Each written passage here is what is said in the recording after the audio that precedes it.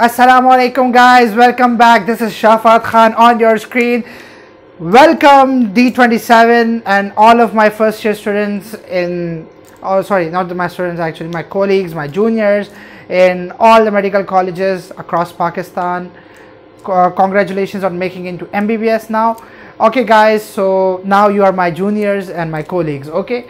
So basically, and special welcome to D27 on making it into Dow. I know I'm very late. I'm so sorry for that, guys, but I was very stuck in a lot of other stuff. So congratulations and let's get started. Okay, so how to go about D D27 first module, foundation module or first year MBBS. I've already made a playlist named MBBS. Okay, the entire playlist is relevant to you guys.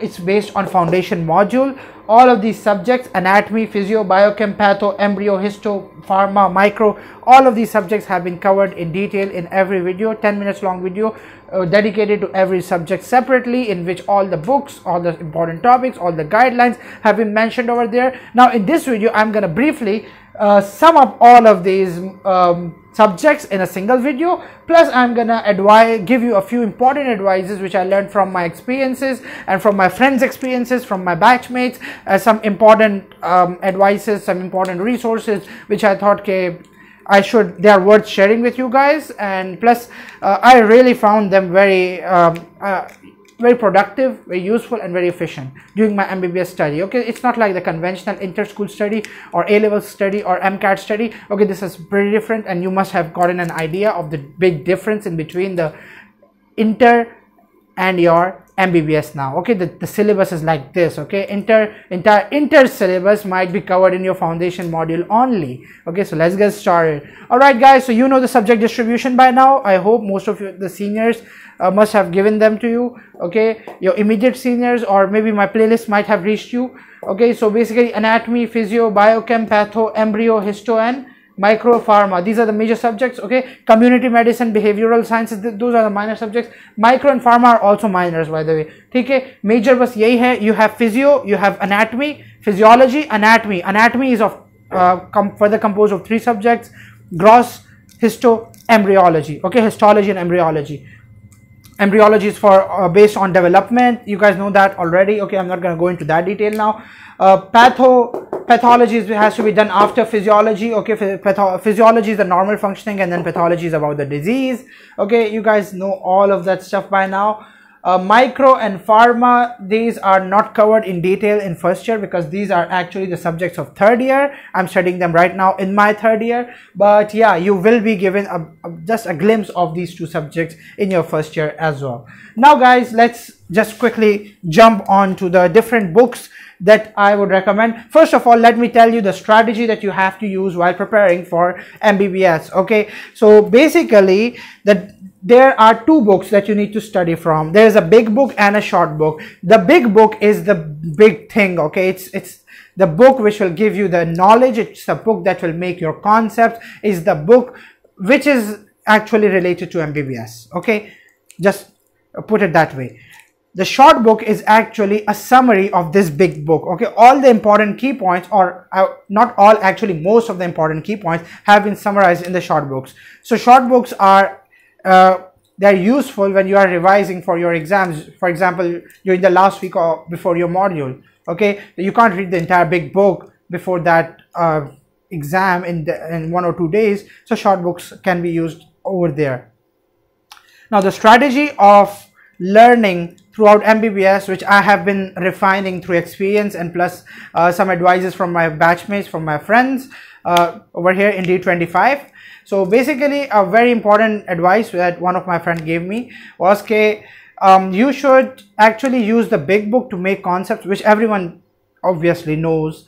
But the important thing is that you should use the short book for note taking okay to take down the notes so the big book once you've done with the concepts you are learned the important points you will know them ठीक है उस दिन तो उस वक्त के लिए तो आपको याद रहेगा सब कुछ ठीक है लेकिन एक हफ़्ते बाद वो आप भूल जाएँगे पक्का गारंटीड आप भूल जाएँगे तो उसको दोबारा रिविजन ऑब्वियसली दो या तीन रेट्स तो देनी होंगी दो या तीन दफ़ा याद करना होगा अब उस दोबारा रिविजन का जो प्रोसेस है ना आप अगर इस just think of it this way guys remember in chemical kinetics chemistry में there was a rate determining step which on which your entire reaction rate was dependent तो इसी तरह से आप यही अज्यूम कर लें कि फ़र्स्ट ही तो बहुत जल्दी हो ही जाती है, अक्सर हो जाती है।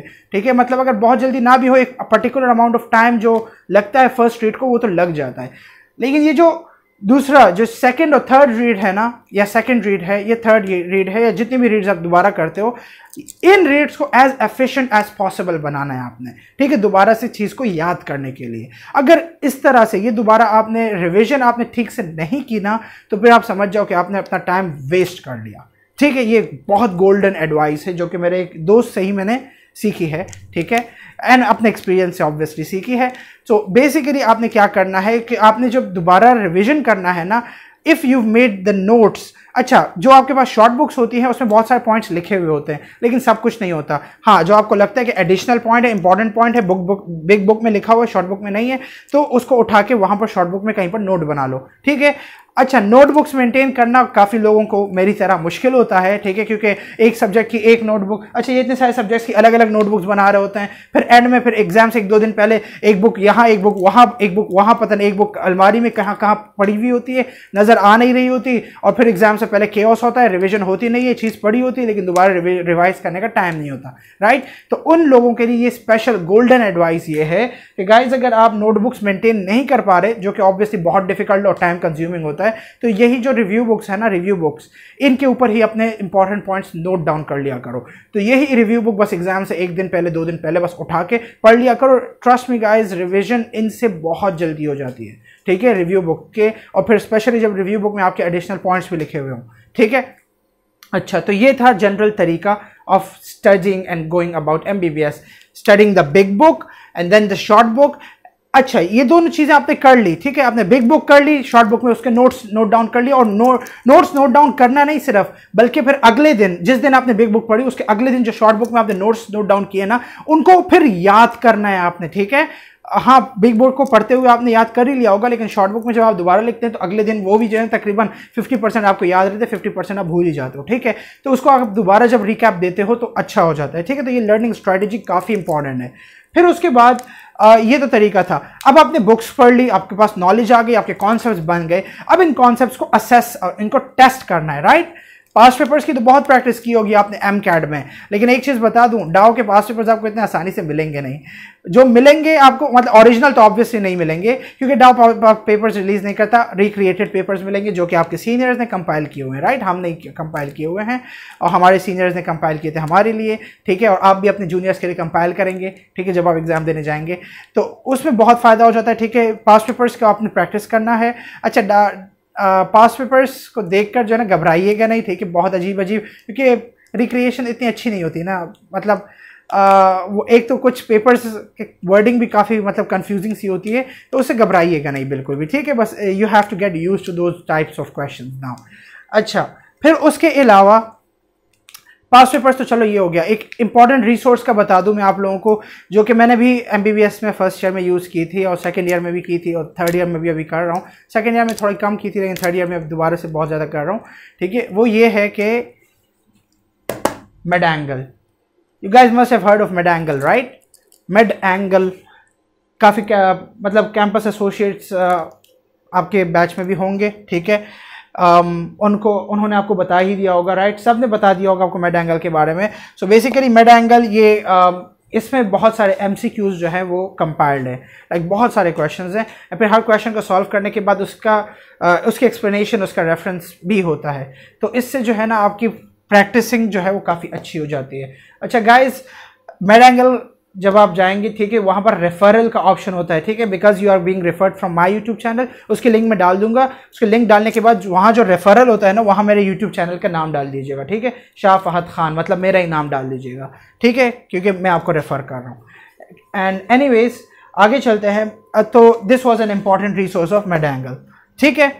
मेड एंगल से आपने फिर प्रैक्टिस करनी पास पेपर्स आपने मतलब हाँ एक और बात। पास पेपर्स भी आपको टेस्टेड क्वेश्चंस के फॉर्म में मेड एंगल में मिल जाएँगे, जिसमें पास पेपर्स में अक्सर रिक्रिएशन में थोड़ी गलतियाँ भी होती हैं तो उनको थोड़े से रेक्टिफाई करके यहाँ पर कंपाइल किया हुआ होता है तो उसमें भी काफ़ी हेल्प हो जाती है। ठीक है? आगे चलते हैं। Now guys anatomy biochem patho embryo histo अब ये जो सारी बुक्स है ना तो इनकी मेजर मेजर बुक्स जो कि मैंने पर्सनली यूज़ की थी, मैं बस अपनी पर्सनल चॉइस बताऊँगा आप लोगों को। ऑब्वियसली तरीका ये नहीं है, तरीका ये है कि आप सारी बुक्स देखें, जो बुक आपको ज़्यादा अच्छे से समझ आ रही हो, वो आप करें, ठीक है? लेकिन जो बुक मुझे जो ज़्यादा अच्छी लगी थी और जो सिलेबस अच्छे से कवर कर रही थी, और वेल खैर, सारी बुक्स ही तकरीबन कर लेती हैं, वो मैं आपको बता देता हूँ। फिजियो के लिए तो गाइटन ही यूज़ करनी है, ठीक है? फिजियोलॉजी के लिए Guyton you guys must have heard of it Guyton and Hall की टेक्स्ट बुक है, ठीक है? और रिव्यू बुक दो तीन है, ठीक है? फिरदौस बुक जो है फिरदौस रिव्यू वो काफ़ी अच्छी है, उसमें काफ़ी अच्छे पॉइंट्स लिखे हुए होते हैं। बेबी गाइटन भी होती है गाइटन की छोटी वाली ठीक है पॉकेट कंपेनियन ऑफ़ गाइटन के नाम से। एंड तीसरी review book B R S review के, के नाम से board review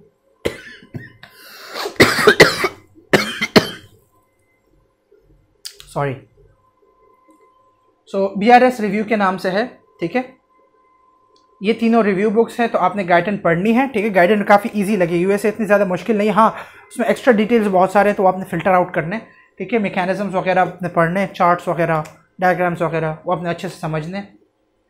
तो उसके नोट्स आप फिरदौस या किसी भी एक बुक पे फिरदौस पे बना ले तो ज़्यादा अच्छा है, ठीक है? वरना आप या रेसिपी पे भी बना सकते हैं, ठीक है? फिरदौस काफ़ी हेल्पफुल रहती है। काफ़ी मोस्ट ऑफ़ द मेरे बैचमेट्स भी जो थे, या जो जूनियर्स हैं, या सीनियर्स हैं, वो फिर दोस्त ही ज़्यादातर यूज़ करते हैं। लेकिन बेबी गाइडन भी काफ़ी लोग यूज़ करते हैं। बी आर एस भी लोग यूज़ करते हैं। मैं, मैंने तो तीनों ख़रीदी हुई हैं, तीनों यूज़ करता हूँ। लेकिन फिर दोस्त ज़्यादा अच्छी लगी मुझे, ठीक है? पॉइंटर्स के फॉर्म में होती है इसमें। लेकिन आपने बुक जो पढ़नी है ना, वो फिजियो की गाइटन पढ़नी है, ठीक है? फिर अनाटमी ग्रॉस अनाटमी के लिए बी डी चौरासी की हैंड बुक आती है, बस उसे रट लेना है, ठीक है?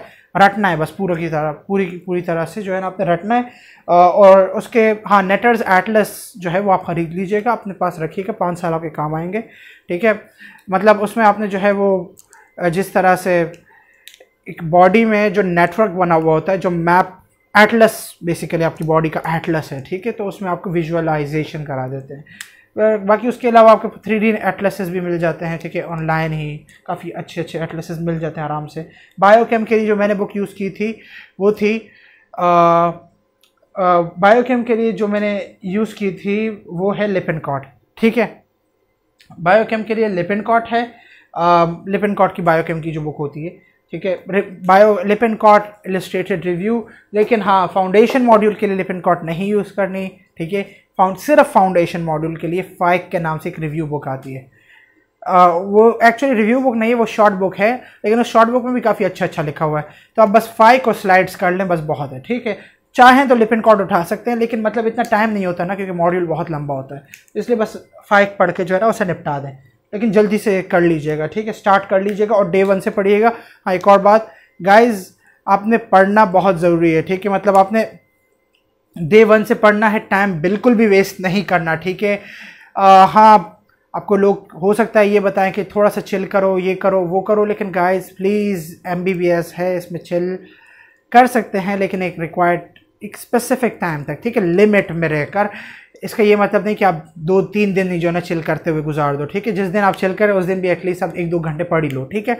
आपने पढ़ना ही है अच्छे से। अगर आप पढ़ोगे नहीं, आप अच्छे, अच्छी नॉलेज नहीं आ पाएगी एंड ट्रस्ट में गाइज़ एड में फिर बहुत ज़्यादा मुश्किल हो जाता है अगर आप पूरे साल में मतलब साल के फ़र्स्ट डे से आप नहीं पढ़ते, ठीक है?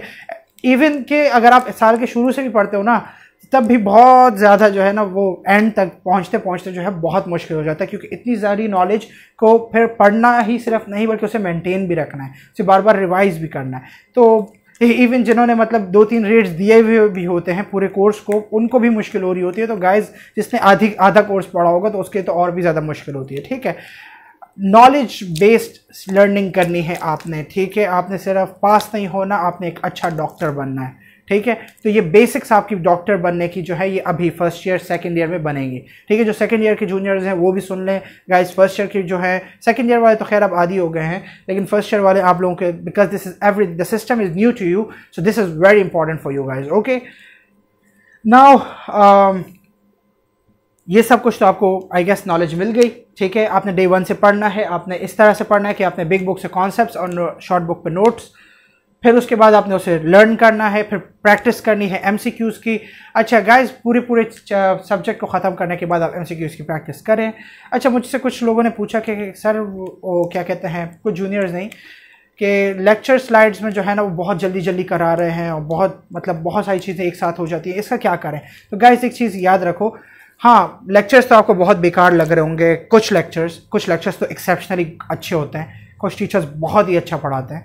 इन कुछ लेक्चर्स ऐसे होते हैं कि ऐसा लग रहा होता है कि बस टाइम वेस्ट है राइट तो गाइज़ एक चीज़ याद रखना। लेक्चर्स तो ठीक है, आपको ऐसा लग रहे होंगे, लेकिन जो स्लाइड्स है ना, उन स्लाइड्स में जो इन्फॉर्मेशन होती है, वो अक्सर वाइवा में एंड आपके पेपर्स में टेस्ट हो रही होती है। तो प्लीज़ स्लाइड्स को अच्छे से आपने कर लेना है, ठीक है? आप मतलब ये ये सारा कुछ करने के बाद आप स्लाइड ज़रूर देखिएगा। स्लाइड्स में जितना, जितनी इन्फॉर्मेशन है बेयर मिनिमम है वो, ठीक है? मिनिमम एटलीस्ट आपको वो स्लाइड्स वाली इन्फॉर्मेशन पता हो, ठीक है? स्लाइड्स में बिकॉज़ सब कुछ तो and obviously it make sense एक डेढ़ घंटे में पूरा चैप्टर की हर एक डिटेलिंग तो नहीं आ सकती ना राइट right? तो वो हर एक डिटेलिंग की जगह क्या होता है जो सबसे ज़्यादा कॉमन चीज़ें होती है ना जो सबसे ज़्यादा इंपॉर्टेंट चीज़ें होती हैं उन्हीं को स्लाइड्स में डाला जाता है ठीक है? तो स्लाइड्स ऐसा नहीं है कि बिल्कुल ही बेकार है ठीक है? स्लाइड्स भी काम की है स्लाइड्स पर भी आपने नज़र रखनी है ठीक है? फिर उसके बाद आम, बाकी बुक्स में बता देता हूँ जल्दी जल्दी ठीक है? तो अनाटमी फिर बायोकेम के बाद पैथो के लिए आपने पैथोमा है ठीक है? पैथोमा आपकी छो, छोटी बुक है स्टेप्स में भी काम आएगी ठीक है। पैथोमा के मतलब वीडियो लेक्चर्स देखकर उसके नोट्स बना लेना पैथोमा के ऊपर ही ठीक है। और फिर उसके साथ बेसिक या बेसिस होती है ठीक है बड़ी बुक जो है। रॉबिन्स की बेसिस या बेसिक बेसिस जो है वो बहुत ही मतलब एक्सट्रीम लेवल की सबसे बड़ी बुक मेजर टेक्स्ट बुक जो है वो बेसिस है। बेसिक उसकी एक थोड़ी सी हल्की सी छोटी वर्जन है। ठीक है बेसिक दोनों में से कोई भी आप यूज़ कर सकते हो इट्स फाइन हाँ बेसिस से आप एक काम ज़रूर कीजिएगा नोट्स आप उसके चार्ट्स और डायग्राम ज़रूर देख लीजिएगा ठीक है? क्योंकि वो अक्सर टेस्ट हो जाते हैं। फिर एम्ब्रियो डॉक्टर नजीब के लेक्चर्स तो सारे ही देखने हैं आपने एम्ब्रियो के लिए ठीक है? फिर उसके बाद के या लैंगमैन में से कोई भी जो आपको ज़्यादा अच्छे लगे आप यूज़ कर लो ठीक है? मैंने क्या किया था मैं दो, दोनों को साथ साथ ही लेकर चला था। मतलब एक बुक को मैंने as a text book use किया था उसका टेक्स्ट यूज़ किया था और दूसरी बुक के डायग्राम्स वगैरह देख ली थी जो कि पहली वाली बुक में नहीं थी। ठीक है इस तरह से चलाया था। और शर्जील के नाम से एक रिव्यू बुक आती है उस पर आप नोट्स बना लें। ठीक है अच्छा उसमें डेट्स थोड़ी सी आगे पीछे हुई होती है तो उनको ज़रा ठीक से कर लीजिएगा। ठीक है आ, मतलब for example weeks of development जो हैं उनको उनमें थोड़े एरर्स होते हैं तो उन एरर्स को आप रेक्टिफाई कर लीजिएगा। ठीक है के या लैंगमैन से जो भी है। फिर हिस्टो के लिए you need to use like ठीक है? लाइक हुसैन की जो बुक है। एंड वो काफ़ी अच्छी लगेगी आप लोगों को क्योंकि वो ओ लेवल्स बायोलॉजी की तरह ए लेवल्स बायोलॉजी की तरह या फिर एम कैट बायोलॉजी की तरह है काफ़ी। ठीक है ईजी भी लगेगा हिस्ट्रो सबसे ज़्यादा तो।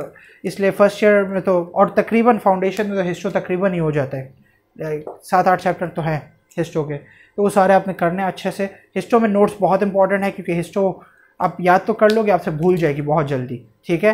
क्योंकि हिस्टो में ऐसा है उसका कंटेंट ही ऐसा है तो उसे बार बार रिवाइज करना होगा ठीक है? तो फिर उसके बाद आप माइक्रो और फार्मा की अगर बात करें तो माइक्रो के लेवेंसन की बुक होती है एक ही बुक है बस वही यूज़ करें थर्ड ईयर में भी वही काम आएगी। फार्मा के लिए कैटजंग या लिपिन कॉट फार्मा की होती है उन दोनों में से कोई भी आप खैर अभी फाउंडेशन मॉड्यूल में लेने की ज़रूरत नहीं होती आप बस पीडीएफ से गुजारा करके स्लाइड्स पढ़ लिया करें बस I guess that's more than enough ठीक है? सो so, ये सब कुछ कवर हो गया।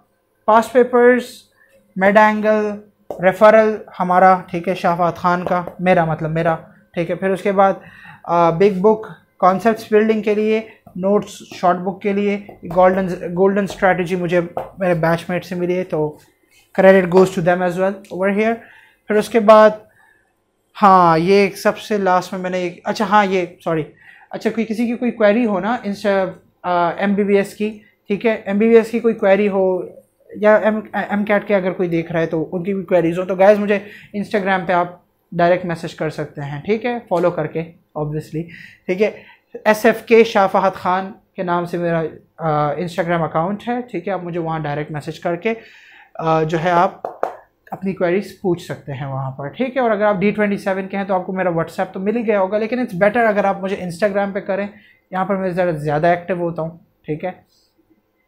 एम बी बी एस की जो प्लेलिस्ट है एम बी बी एस के नाम से जो यूट्यूब चैनल पे YouTube dot com slash Shafa Khan में जो एम की प्लेलिस्ट है ना एम प्लेलिस्ट के नाम से एम बी बी एस के नाम से, वो पूरी की पूरी प्लेलिस्ट आपके लिए है। It's relevant to you and guys ये एक इंपॉर्टेंट बात याद रखिएगा कि आप प्लीज़ एम कैट के टाइम में याद है ना, आप किस तरह से डेडिकेटेड स्टडी कर, के आ रहे हैं। कितने सारे लोगों को आपने बीट करके यहाँ पर एडमिशन लिया है राइट वो चार्म आपका जाना नहीं चाहिए, ठीक है? वही मेहनत आपकी बरकरार रहनी चाहिए, क्योंकि मैंने देखा है फ़र्स्ट ईयर या फिर एमबीबीएस में आने के बाद काफ़ी लोग सुस्त हो जाते हैं, फिर पढ़ाई नहीं करते उस तरह की जो वो एक वक्त में किया करते थे, और वो बिल्कुल कर सकते हैं। They've done it once they can do it again you have done it once you can do it again you guys can do it ठीक है? मैं अपने बैचमेट्स को भी कह रहा हूँ, मैं अपने जूनियर्स को भी कह रहा हूँ। ठीक है गाइस बिल्कुल भी बस अपना वो वाला जो हार्ड वर्क था, वो अब वापस लाने का टाइम आ चुका है। ठीक है this is the crucial time of your life ठीक है मतलब of your career I would say कि इसमें आपने जो है अपने स्टडी को जो है अब प्रायोरिटाइज करना है, जितना हो सके। बिकॉज़ गाइज़ इज़ सिंपल जितनी ज़्यादा पढ़ाई करेंगे कोर्स की ऑब्वियसली अच्छी, जो मतलब गाइडेंस के मुताबिक हाँ स्मार्टली ठीक है? आप बस ऐसा ना हो कि आप सिर्फ़ हार्ड वर्क करते रहें और फजूल चीज़ों पे करते रहें, जो इंपॉर्टेंट चीज़ें वो स्किप कर लें, ऐसा नहीं, ठीक है? जो ज़्यादा इंपॉर्टेंट चीज़ें हैं, अब उनको भी काफ़ी लोग छोड़ देते हैं, नहीं कर पाते, क्योंकि टाइम नहीं बचता, क्योंकि वो डे वन से नहीं पढ़ते। गाइज़ ऐसा नहीं करना, ठीक है? वो मोटिवेशनल कोर्स वगैरह तो आप पढ़ते आए होंगे, देखते आए होंगे आई एम कैट के टाइम पे राइट के स्टडिंग दिस चैप्टर टुडे में save someone life tomorrow right वही वही वाली सारी चीज़ें जो बहुत सारे कोर्ट्स आप देखते रहें, आप, आपको मोटिवेट करने के लिए। तो गाइज़ वो मोटिवेशन आपकी जानी नहीं चाहिए, ठीक है? मैंने बहुत सारे लोगों को ऑब्ज़र्व किया है कि जिस तरह की मेहनत वो वहाँ करते थे, यहाँ पर आके वो वो मेहनत कभी भी उन्होंने नहीं दिखाई। गाइज़ तो प्लीज़ ऐसा नहीं होने देना, अपने आप को डिस्ट्रैक्ट नहीं होने देना, अपनी डिस्ट्रैक्शंस को बिल्कुल ख़त्म कर देना, ठीक है? And just focus on this ठीक है? क्योंकि आप, आज जो पढ़ रहे हो ना, किसी की ज़िंदगी के लिए पढ़ रहे हो राइट किसी की ज़िंदगी का सवाल हो सकता है। तो आपके अगर कॉन्सेप्ट अच्छे होंगे, आपकी नॉलेज अच्छी होगी, आपने प्रैक्टिस सारी अच्छे से की हुई होगी तो इन आप एक ऐसे डॉक्टर बनोगे कि मतलब आप मुतमिन होगे अपने कोर्स से, ठीक है? अपने प्रोफेशन से आई वुड से ठीक है? आपको दिल में एक इतमान होगा। और अगर ऐसा नहीं है, चीज़ें स्किप कर कर के पास पेपर्स का सहारा लेकर बस पास हो गए तो गाइस ट्रस्ट में वो गिल्ट फील होता है हमेशा। ठीक है? So please give maximise your study time maximise your time to your studies balance रखें, बिल्कुल रखें, थोड़ा सा टाइम रखें। अपने लिए भी, अपनी फैमिली के लिए भी गाइस डिवाइड कर दें अपना टाइम लेकिन अगेन ज़्यादा चंक आपका यहाँ जाना चाहिए। स्पेशली आप अगर फ़र्स्ट ईयर सेकेंड ईयर में हैं तो फिर बहुत ज़्यादा ख्याल रखना है। क्योंकि यही दो साल हैं जिसमें आपकी बेस बनेगी। और बहुत मज़बूत अगर वो बनेगी तो आगे आपकी बिल्डिंग पूरी की पूरी मज़बूत होगी। बेस ही मज़बूत नहीं होगी तो बिल्डिंग बनाने में बहुत मुश्किल हो सकती है। अल्लाह ना करे, ठीक है? बस that's all from this video I guess we covered the end till the end actually तो बस, अगर मेरे लायक कोई खिदमत हो, कोई क्वेश्चन पूछना हो तो guys you can just drop me a text over there ठीक है? एंड दैट्स ऑल गाइज़ फिर बहुत शुक्रिया एंड प्लीज़ दुआ में याद रखिएगा। मेरे और हाँ अगर आपके कोई जूनियर्स वगैरह हो तो A K U and M D CAT का बैच शुरू हो चुका है। और यस यस यस गाइस अच्छा हाँ डाओ में जो मेरे स्टूडेंट्स हैं Hasan Mushahid Afia and Fatima congratulation guys on getting into Dow ठीक है? You guys have made me proud ठीक है? uh, मैं हाँ मिल चुका हूँ वैसे तीनों से, लेकिन इनशाला I be meeting you guys and चलो that's all guys take care अल्लाह हाफिज़